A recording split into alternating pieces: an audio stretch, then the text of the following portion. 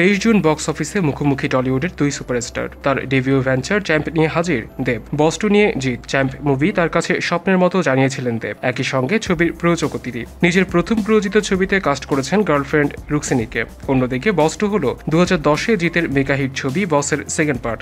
ভারত বাংলাদেশ যৌথ প্রযোজনায় নির্মিত ছবিতে জিৎ শুভশ্রীর সঙ্গে রয়েছেন ওপার বাংলার অভিনেত্রী নুসরাত ফারিয়া। আয় ও দর্শকদের প্রতিক্রিয়ায় কিন্তু চ্যাম্পকে অনেকটাই চাপে ফেলে দিয়েছে বস্টু দেবকে পেছনে ফেলে দৌড়ে অনেকটাই এগিয়ে গিয়েছে জিৎ। অনেক দর্শকই জানিয়েছেন দেবের প্রথম প্রযোজিত ছবিতে যা আশা করেছিলেন তা পাননি, বরং বস্টু ফুলটু বিনোদন। অনেকে আবার বলছেন একটি হিন্দি ছবির হুবহু রিমেক চ্যাম্প কোনো স্পেশাল স্ক্রিনিং নয়, নিজের কাছের কয়েকজনকে নিয়ে ছবির ক্লোজ ডোর স্ক্রিনিং করেছেন অভিনেতা প্রযোজক দেব। সাতাইশ জুন রয়েছে আরও একটি special screening box office rating Champ পেয়েছে পাঁচ, বস টু সাত। সুতরাং কথা বলাই যায় টলিউডের বাজারে, এখন বসগিরি করছেন জিৎ।